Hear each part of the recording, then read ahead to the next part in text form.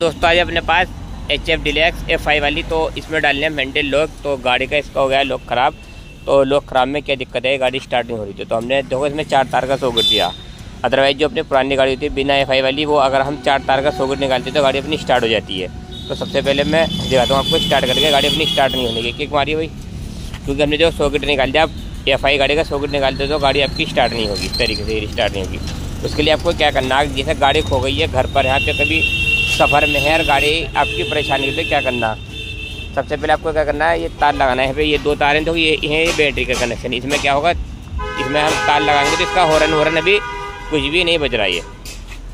नई neutral light आ रही। ये हमने इसके दो तार जोड़ दिए यहाँ पर। यहाँ पर तो इसमें क्या होगा? अपनी न्यूट्रल लाइट आपकी आ जाएगी।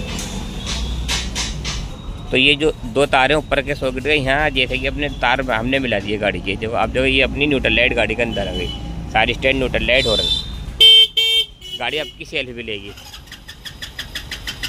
गाड़ी हमारी सेल्फ ले रही है, पर गाड़ी हमारी स्टार्ट नहीं होने की है। न्यूट्रल लाइट भी आ गई और आपने तार मिला दिया। आपने देखो, इस तरीके से दो। ये वाले तार, एक में पीली धारी है, एक में ये रेड है। ये दो जो कनेक्शन है, ये अपनी बैटरी के। पर क्या हुआ, हमने दोनों तार मिला दिया आपस में दो हमने देखा तो गाड़ी अपनी स्टार्ट नहीं हुई। और न्यूट्रल लाइट वगैरह आ रही है, गाड़ी के अंदर करंट नहीं आ रहा था, क्योंकि इसकी एफआई काम नहीं कर रही थी। अब इसकी एफ़ कैसे काम करी? गाड़ी आपको कैसे स्टार्ट करनी है, उसके लिए हम आपको बताते हैं। तार का टुकड़ा और लेना आपको?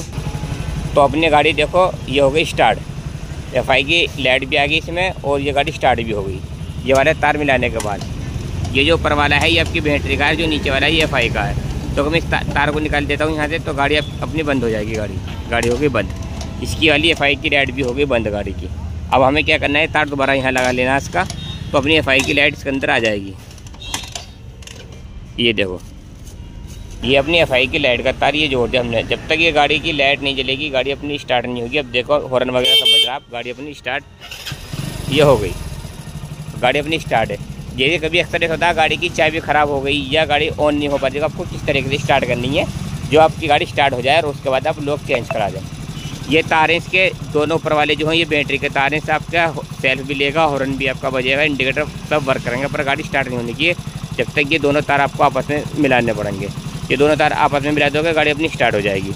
जब हम इसमें से कोई भी एक तार निकालेंगे तो अपनी गाड़ी जो है बंद हो जाएगी। ये हो गई अपनी गाड़ी का है सिस्टम किसका? बैटरी का भी हॉर्न वगैरह नहीं बजाने चाहिए ख़राब। पर ये एफआई वाली जो है, ये अपनी चलती रहेगी। अब ये दोनों तार मिला लें और आपकी गाड़ी स्टार्ट हो जाएगी। हम इसे निकालेंगे, गाड़ी अपनी बंद हो गई ये वाली। तो कभी भी आपको क्या करना ऊपर वाले तार छोड़ के ये बस नीचे वाले मिला लो।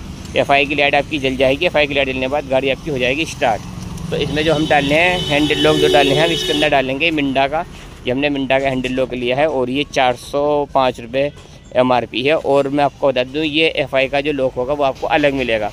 चार तार चार तार का जो लॉक होता है नॉर्मल जो आता है स्प्लेंडर में, वो वाले इसके अंदर लॉक काम नहीं करने का। इसके लिए आपको एफ़ आई के नाम से ही लॉक खरीदना पड़ेगा। तो हम कर लेते हैं गाड़ी